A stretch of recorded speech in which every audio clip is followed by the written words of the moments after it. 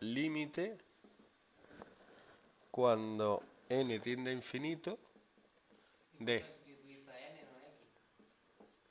Porque en la serie se ha usado n de toda la vida. n es un número natural que va creciendo, ¿vale? No es entero. Entonces pone n como natural. ¿Y esto que forma parte de la serie? Esto es, sí, del tema 1. A ver, 3n tiende a infinito. Y esto es, esto tiende a 1, porque esto tiende a 2 partido 2, que es 1. 1 menos 1. ¿El 3 tiende a 1? ¿Cómo? No, el 3n tiende a infinito.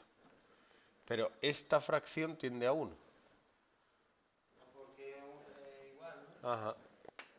¿Y sería 1 menos 1? Sí, 1 menos 1 que es 0. Y esto es una indeterminación. ¿Y por qué 1 menos 1? Porque aquí hay un 1 y yo. Esto tiende a 1, esto tiende a 1. 1 menos 1. Pero tú me has dicho, la, si P y Q es igual, es A partido B. A partido B, 2 partido 2, 1.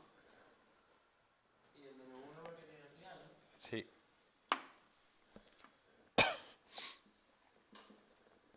Opero. Esto sería 3n por. Aquí es menos 1, sería 2n más 3 partido.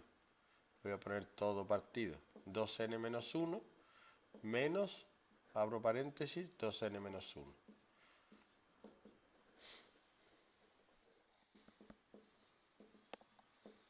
límite cuando n tiende a infinito de 3n por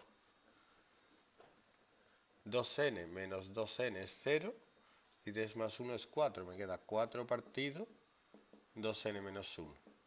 Y ahora 3n por 4 es 12n. Me queda el límite cuando n tiende a infinito de 12n partido 2n menos 1, que como el grado es el mismo, es 12 entre 2, que es 6. Eso tiende a 6.